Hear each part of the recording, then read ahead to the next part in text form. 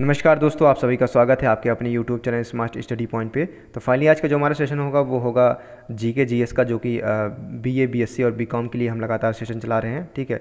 तो ये क्वेश्चन जो है बार बार पूछे जाते हैं। पैटर्न तो सेम सेम ही होता है, चाहे वो बी ए हो, चाहे बी एस सी का हो।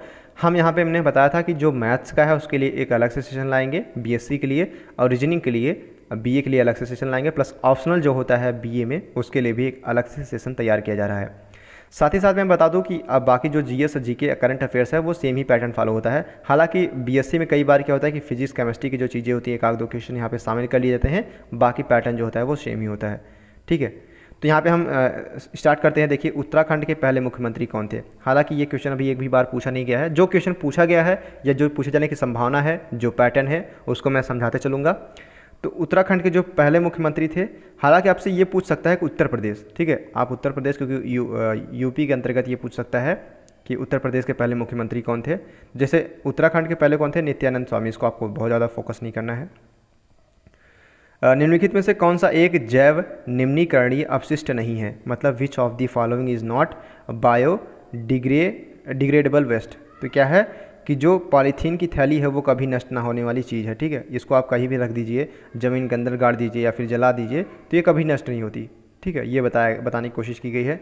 इसको ये जो है पर्यावरण को बहुत ज़्यादा क्षति पहुँचाती है तो ऑप्शन डी हो जाएगा हमारा सही। निम्नलिखित में से कौन सा पोषक तत्व केले में प्रचुर मात्रा में मौजूद होता है? तो हालाँकि अभी ये क्वेश्चन नहीं पूछा गया है। In bananas which of the following nutrition is present the highest amount लेकिन इसको जो है, इस इस क्वेश्चन को जो है तोड़ मरोड़ के दूसरी तरीके से पूछ लिया गया, जैसे अभी हम बताएँगे। जैसे मैं आपको बता दूँ कि पोटेशियम जो होता है, उस पोटेशियम की मात्रा केले में सबसे ज़्यादा होती है, ठीक है? अगला हमारा है कि एक भौतिक राशि की पहचान करे जो सदिश नहीं है मोस्ट इंपॉर्टेंट क्वेश्चन ठीक है? बीएससी के पेपर में बार बार ये क्वेश्चन रिपीटेड क्वेश्चन है, और बीए के क्वेश्चन में हालाँकि ऐसे क्वेश्चन तो अभी नहीं आए हैं पैटर्न उसको हम देख लेते हैं एक बार। तो दूरी जो है वो सदिश राशि नहीं है, जबकि विस्थापन, बल और त्वरण ये तीनों सदिश राशि है, ठीक है? वेक्टर क्वांटिटी है। अगला हमारा है कि अणुनग्न आँखों से न दिखाई देने वाला बहुत छोटे कण होते हैं, लेकिन उन्हें किसकी सहायता से देखा जा सकता है? इलेक्ट्रॉन सूक्ष्मदर्शी की सहायता से उनको, अणुओं को देखा जा सकता है। ऑप्शन डी हमारा सही हो जाएगा। Ghoomar most important B M पूछा गया है कि Ghoomar is the tradition as well as a enthusiastic folk dance of मतलब कि जो घूमर है, वो कहाँ का पारंपरिक एवं उत्साहपूर्वक नृत्य है। तो देखिए 2018 क्योंकि वहाँ पर पद्मावत उस समय आई थी तो उसमें वह क्वेश्चन पूछ लिया गया था। हो सकता है कि इस बार ना पूछा जाए, लेकिन पूछने जाने की संभावना भी है। तो इस रिलेटेड जो है डांस जो होते हैं, जो टाइगर रिज़र्व हो गए, ये सब जो क्वेश्चन होते हैं, ये मोस्ट इंपॉर्टेंट क्वेश्चन होते हैं, इसको आपको रट लेना है। तो घूमर जो होता है, वो राजस्थान का प्रमुख नृत्य है, पारंपरिक नृत्य है। सिल्वर क्लोराइड सूर्य के प्रकाश में क्या, कौन सा रंग देता है? ये पूछा गया था बीएससी के पेपर में कि सिल्वर क्लोराइड टन्स किसमें परिवर्तित हो जाता है? तो सिल्वर क्लोराइड अगर हम सूर्य के प्रकाश में रख दें तो भूरे रंग में परिवर्तित हो जाता है। अगला हमारा है कि समाज के समाजवादी पैटर्न की स्थापना का आवाहन करने वाली दूसरी पंचवर्षीय योजना को सामान्य तौर पर क्या कहा जाता है?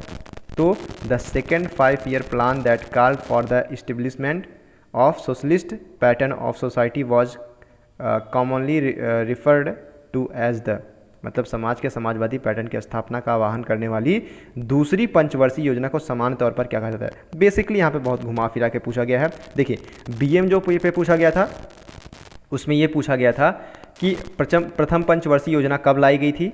ठीक है? उसके संस्था उसके हेड कौन थे? बीएम पूछा गया था, मैं बीए की बात कर रहा हूँ, ठीक है? दो क्वेश्चन इससे आए थे। इसलिए हालाँकि दूसरी, यहाँ पे ये भी पूछा गया है कि नीली क्रांति किस पंचवर्षीय योजना से संबंधित थी, या फिर सफ़ेद क्रांति किस पंचवर्षीय योजना से संबंधित थी?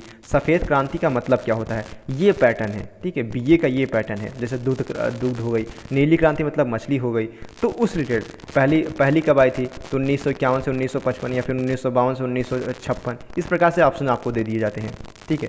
तो जो दूसरी पंचवर्षीय योजना थी वो बेसिकली जो थी वो जो है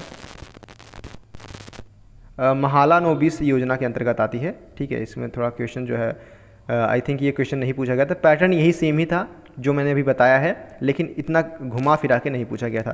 फेन प्लवन विधि बीएससी का पेपर है कि for froth flotation process is based on मतलब जो फे, फेन प्लवन विधि है वो किस पर आधारित है? तो अयस्क के कणों का क्लेदन करने के लिए, यानी वेटिंग और वेटिंग ऑफ़ और पार्टिकल्स। अगला हमारा एक निम्नलिखित में से कितने किसने मलेशिया ओपन 2019 का खिताब जीता है? तो लिन डॉन जो है, हालाँकि इसमें इस टाइप के क्वेश्चन को आंसर कर पाना थोड़ा सा मुश्किल होता है, इसलिए इस पर हम बहुत ज़्यादा फोकस नहीं करेंगे, ठीक है? जब वस्तुओं को किसी द्रव में डिबोया जाता है तो वो निम्नलिखित में से कौन सा बल का अनुभव करती हैं? तो उत्प्लावन बन का अनुभव करती है। मान लीजिए आप किसी वस्तु को, पेंसिल को अगर आप किसी बाल्टी में डुबोते हैं तो उस पर कौन सा बल बल लगेगा? उत्प्लावन बल। ठीक है? ऊर्जा के वे स्रोत जो बहुत लंबे समय से प्रकृति में संचित है और जिन्हें समाप्त होने पर शीघ्र ही प्रतिस्थापित नहीं किया जा सकता, क्या कहलाते हैं? वह कहलाते हैं ऊर्जा के गैर नवीकरणीय स्रोत। मतलब कि ऐसे कुछ ऐसी वस्तु हैं जैसे आपका पेट्रोलियम हो गया। अगर आप पेट्रोलियम, क्या होता है कि जीव के नीचे दब जाने के कारण से कई साल कई हज़ार कई करोड़ों वर्ष बाद वह जो है उस पर पेट्रोलियम का निर्माण होता है ठीक है? कोयला का निर्माण हो गया तो कोयला का भी निर्माण क्या होता है? जीव को वापस पेड़ पौधे जो होते हैं उसके नीचे दब जाने की वजह से कोयले का निर्माण होता है हज़ारों कई कई साल प्रक्रिया जा, लग जाती है। तो एक नवीकरणीय होता है एक गैर नवीकरणीय मतलब कि जिसे वापस से उस प्रोसेस के अंतर्गत नहीं ला जा सकता एक सीमित मात्रा के क्षेत्र में है। तो वही बताया गया कि एक जो जो एक सीमित मात्रा में हो, जो एक सीमित क्षेत्र में हो, उसको क्या कहा जाता है? गैर नवीकरणीय स्रोत मतलब उसको वापस से नहीं लाया जा सकता है, या फिर लाया भी जा सकता है तो कई साल, कई हज़ारों वर्ष बाद भी लाया जा सकता है। वर्तमान में राज्यसभा की अधिकतम सदस्य संख्या most important question B A और बी ये तीनों सब्जेक्ट में पूछा गया था 250 है। अधिकतम यहाँ पे पूछा गया, इस बात को आप ध्यान रखेंगे। किस मानव अंग का वज़न लगभग एक दशमलव चार किग्राग्राम होता है और प्रति मिनट में ज़ीरो दशमलव आठ पाँच लीटर रक्त इसे होकर गुजरता है? तो आपको पता होगा, जब यहाँ पे रक्त की बात आ गई है तो मस्तिष्क है। ठीक है, आप यहाँ पे हृदय भी लगा सकते थे हालाँकि। लेकिन जो यहाँ पे बताया गया है, जो वेट बताया गया है, वन पॉइंट फोर की ग्रह यानी चौदह सौ ग्राम लगभग। तो आपको 1350 ग्राम, हालाँकि आप पढ़ेंगे किताब में तो 1350 कहीं कहीं 1300 ग्राम लिखा रहता है, आप कन्फ्यूज़न नहीं होंगे। ये बीए के एग्ज़ाम में पूछा गया था कि मस्तिष्क का एक भार कितना होता है, समानता भार कितना होता है तो उसमें आपको दिया रहेगा। हालाँकि उसमें जो ऑप्शन दिए रहेंगे, वो काफ़ी ज़्यादा, जैसे एक पाँच दिया रहेगा, एक तेरह दिया रहेगा, एक तीन ग्राम दिया रहेगा, एक चार ग्राम। इस प्रकार से क्वेश्चन जो है पूछे जाते हैं, ठीक है? अगला हमारा है कि एन कोश में अधिकतम इलेक्ट्रॉन कितने होते हैं? आपको पता होगा, अगर आप लोग ट्वेल्थ जो है साइंस साइड से पढ़े होंगे ठीक है? तो आपको पता होगा, बत्तीस होते हैं। तो दो आठ आठ, ठीक है? तो इस प्रकार से बत्तीस जो, दो आठ आठ सोलह, बत्तीस। इस प्रकार से पोलियो का पहला प्रभावी टीका किसने मोस्ट इंपॉर्टेंट क्वेश्चन कि पोलियो का टीका जो है वो किसने खोजा था? ये बीए के एग्ज़ाम में पूछा गया है बीएससी एग्ज़ाम हालाँकि बीकॉम में नहीं पूछा गया, लेकिन बीए बीएससी दोनों एग्ज़ाम में पूछा गया है कि पोलियो का पहला प्रभावी टीका है फिर पोलियो का जो टीका है उसका who prepared the first effective vaccine against polio मतलब पोलियो का जो वैक्सीन है वो किसके द्वारा खोजा गया था? तो जॉन uh, इस साल के द्वारा खोजा गया था। ऑप्शन जो डी हो जाएगा हमारा वो सही हो जाएगा। आई थिंक इसमें जो है वो आई थिंक आपको देखिए पूछा किस प्रकार से गया था? उसमें पूछा इस प्रकार से गया था कि पोलियो का टीका किसने खोजा था। ठीक है? तो जॉन ई साल हो जाएगा ऑप्शन, जो डी है हमारा, वो सही हो जाएगा। देखिए, अगला हमारा क्वेश्चन है, निम्नलिखित में से किस तत्व की श्रृंखला यानी कैटेन कैटेनेशंस का गुण होता है? यानी which of the following elements possesses the property of catenations मतलब निम्नलिखित में से किस तत्व में श्रृंखलन की गुण होता है? तो जो हमारा कार्बन है, वो श्रृंखला मतलब इस प्रकार से श्रृंखला बनाती है बी एस के एग्ज़ाम में पूछा गया था, ठीक है? अगला हम देख लेते हैं। प्रबल आम्ल प्रबल आम्ल के विलियन में क्या होता है? तो प्रबल अम्ल मतलब I strong acid in in solution is मतलब प्रबल अम्ल किसका विलियन होता है? तो हमारा ज़्यादातर आयन का विलियन होता है। ठीक है प्लस माइनस वाला। अगला हमारा क्वेश्चन है कि बीटा कैरोटीन को शरीर द्वारा में परिवर्तित किया जाता है। तो देखिए, जो बीटा कैरोटीन होती है इस कन्वर्टेड इनटू तो बीटा कैरोटीन को शरीर द्वारा परिवर्तित किसमें किया जाता है? तो बीटा कैरोटीन को किसमें परिवर्तित किया जाता है? आई थिंक इसका ऑप्शन जो है वो सी हो जाएगा ऑप्शन सी विटामिन ए ठीक है? माफ़ कीजिएगा। या विटामिन ए ठीक है? अगला हमारा है कि मनुष्य में निकट दृष्टि, दोस्त मोस्ट इंपॉर्टेंट क्वेश्चन देखिए यहाँ पे बीए के पेपर में पूछा गया था 2000 2000 आई थिंक 15 और 2014 के पेपर में पूछा गया था कि मनुष्य में, और माफ़ कीजिएगा 2018 में भी पूछा गया है ये क्वेश्चन ठीक है? और ये जो क्वेश्चन है 2019 के प्रश्न पत्र में जो बीएससी का पेपर हुआ था, अभी रिसेंटली उसमें भी पूछा गया था कि निकट दृष्टि दोष, दूर दृष्टि दोष। देखिए, अब मैं आपको एक ट्रिक बताता हूँ, जैसे दूर दृष्टि दोष ये होता है। तो द में ऊ की मात्रा लगी है तो उत्तर लेंस हो जाएगा। दूर दृष्टि दोष के निवारण के लिए उत्तर लेंस अगला हमारा बचा है नी, अ, निकट मतलब नी, अ, कट मतलब इसमें अवतल लेंस का प्रयोग हुआ। ठीक है, दू में, द में ऊ की मात्रा तो उत्तर लेंस का प्रयोग, जैसे इसमें पूछा गया है कि निकट, नी, अ मतलब अवतल लेंस का प्रयोग किया जाएगा हालाँकि इसमें कुछ और पूछा गया है। उसमें एक बार क्वेश्चन और पूछा गया था कि जो गाड़िया का हेडलाइट होता है, उसमें कौन से लेंस का प्रयोग किया जाता है? अवतल लेंस उत्तल लेंस माफ़ कीजिए, अवतल दर्पण, उत्तल दर्पण, इस प्रकार से क्वेश्चन पूछा गया था। आपको ऑप्शन बॉक्स में बताना है। ठीक है कमेंट बॉक्स में आपको ये चीज़ें बता दी हैं। तो मनुष्य में निकट दृष्टि दोष मायोपिया का दूर करने के लिए किस लेंस का उपयोग किया जाता है? तो आपको पता होना चाहिए, अवतल लेंस ठीक है? चूहे में कितने, देखिए, मानव में पूछा गया था हालाँकि, लेकिन इस बार इसमें पूछ लिया गया है कि चूहे में कितने जोड़ी के गुणसूत्र होते हैं। मानव में इस, पिछली बार पूछा गया था 2000 2018 के बीए के प्रश्न पत्र पूछा गया था कि मानव में कितने जोड़ी गुणसूत्र होते हैं। तो आपको पता पता होना चाहिए छियालीस या फिर तेईस सिंगल, छियालीस दोगुना, ठीक है, एक जोड़ी। यहाँ पर जोड़ी ही पूछा गया है तो चूहों की बात यहाँ पर की गई है तो चूहों के जो ऑप्शन होगा वो सी ऑप्शन सही हो जाएगा, ठीक है। अगला हमारा क्वेश्चन है कि 18 दिसंबर, हालाँकि ये क्वेश्चन पूछे जाने की संभावना बिल्कुल कम है तो इसको हम यहाँ पे डिसेबल कर देते हैं। अगला हमारा क्वेश्चन है कि निम्नलिखित में से किसने इलेक्ट्रॉन सूक्ष्मदर्शी का पहला प्रोटोटाइप विकसित किया था?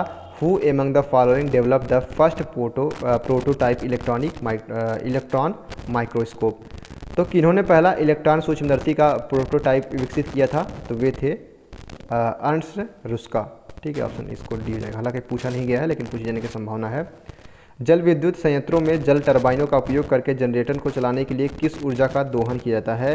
यानी hydro hydro electric power plants which energy tapped using water turbines to drive generator तो जो गिरते हुए पानी की ऊर्जा होती है, उसी को जो है कन्वर्ट करके जो है दोहन किया जाता है। ठीक है? जनरेटर को चलाने के लिए उपयोग किया जाता है। आपको पता होगा किस प्रकार से जो पानी गिरती है, नीचे जनरेटर लगा रहता है टरबाइन लगी रहती है, जो घूमता रहता है, इसके बाद वहाँ से क्या होती है? बिजली क्रिएट होती है। अगला हमारा यदि किसी जीवाणु में दो सिरों पर जो है फ्लै, फ्लैजेला होता है तो इसे क्या कहा जाता है? If a bacterium has flagella at both ends it is describe as तो M P M P trichous हालाँकि ये भी क्वेश्चन पूछा नहीं गया है, इसलिए इसको ज़्यादा ध्यान नहीं देंगे। अष्टक के नियम को किसने प्रस्तुत किया था? मोस्ट इंपॉर्टेंट क्वेश्चन कि अष्टक के नियम को जो है, वो जॉन न्यूलैंड ने प्रस्तुत किया था। बीए के भी में पूछा गया है और बीएससी में पूछा गया है। आगे पूछे जाने की संभावना 100 परसेंट है, ठीक है? तो अष्टक के नियम को किसने प्रस्तुत किया था? तो जॉन न्यूलैंड ने प्रस्तुत किया था। अगला हमारा है कि तीन तत्व, बुरान, सिलिकॉन और जर्मेनियम क्या है? ठीक, आपको बताना है तो धातु है। ठीक है? उपधातु क्या है? एक बार फिर से देख लेते हैं। बोरान, सिलिकॉन और जर्मेनियम। देखिए, कई बार क्या पूछ लिया जाता है, जैसे हेलिना की रबरी फ्री आपको, आपने याद भी रखा होगा। ठीक है, यस ब्लॉक है पी ब्लॉक है डी ब्लॉक है ठीक है या ब्लॉक है हेलिना की रबरी रबरी, सस्ती सस्ती, फ्री। तो आपको यहाँ पे ये क्या होंगे? यस ब्लॉक के तहत आपको याद हो जाएँगे। बेटा, मांगे कार स्कूटर। इस प्रकार से देखिए, हाइड्रोजन, लिथियम नाइट्रोजन, पोटेशियम। ठीक है रूबीडियम सीजियम फ्रेंसियम। तो इस प्रकार से आप लोग याद कर सकते हैं। रटने का जो एक प्रोसेस होता है, देखिए रटने, रटिए एक एक मात्रा में। लेकिन आप अगर किसी ट्रिक के माध्यम से याद करते हैं तो आपको जीवन प्रयत्न याद होता है। जैसे कीड़ा क्या हुआ? वसा में विलय हो गया। वसा में अगर कीड़ा गिरेगा तो मर जाएगा। ठीक है? तो विलय हो गया, बाकी बी सी बचे। ठीक है? तो उसको हम यहाँ पे ध्यान रख देंगे। तो कंसीडर जो है आपको ये चीज़ें, इस तरह से पढ़ाई आप डेफिनेटली करेंगे तो आपको वीडियोज़ देखने की या फिर बार बार वो चीज़ें रिवाइज करने की ज़रूरत नहीं पड़ेगी। तो आई थिंक ये आपको समझ में आ गया होगा अलग हमारा क्वेश्चन है कि धातु एस्को में अपचयन की थर्माइट प्रक्रिया में किस पदार्थ का उपयोग किया जाता है? The substance use in thermite process of the reducing metal ores मतलब धातु एस्को में अपचयन की थर्माइट प्रक्रिया में किस पदार्थ का उपयोग किया जाता है? तो वो एल्युमिनियम का प्रयोग किया जाता है। अगला हमारा क्वेश्चन है, निम्नलिखित में से किसमें अत्यंत संवेदनशील श्रवण उपकरण मौजूद होता है, जो चमगादड़ की पराश्रव्य चीखों को सुन सकता है? देखिए, माफ़ कीजिएगा, यहाँ पे बताया क्या गया है, जैसे 20 किलो हर्ज से। 20 किलो हर्ज से अगर आगे तक है, ध्वनि की जो तरंग दर्द है तो उससे ज़्यादा अगर तरंग दर्द है तो ध्वनि की तो मनुष्य नहीं सुन सकता। एक समान मनुष्य नहीं सुनता सकता जबकि चमगादड़, बिल्ली, कुछ ऐसे जानवर हैं, जो कि इसको सुन सकते हैं। तो इसमें बताया कुछ खास प्रकार के जो कीट हैं, उसमें यह संभावना पाई जाती है कि इसको चमगादड़ को छो छोड़ करके भी। चमगा माफ़ कीजिएगा, यहाँ पे जो चमगादड़ की आवाज़ होती है, वो 20 किलो हर्ड से ऊपर होती है। वहाँ पे पिछले बार में हमने थोड़ा सा गड़बड़ कर दिया था।